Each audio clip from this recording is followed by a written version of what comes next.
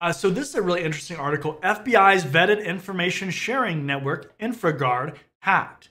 InfraGard, a program ran by the U.S. Federal Bureau of Investigation, the FBI, to build cyber and physical threat information sharing partnerships with the private sector this week, saw its database of contact information of more than 80,000 members go up for sale on an English language cybercrime forum.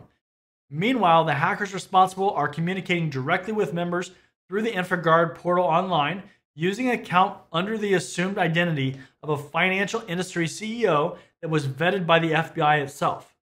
On December 10, 2022, the relatively new cybercrime forum breached featured a bombshell new sales thread, the user database for InfraGard, including names, contact information for tens of thousands of InfraGard members.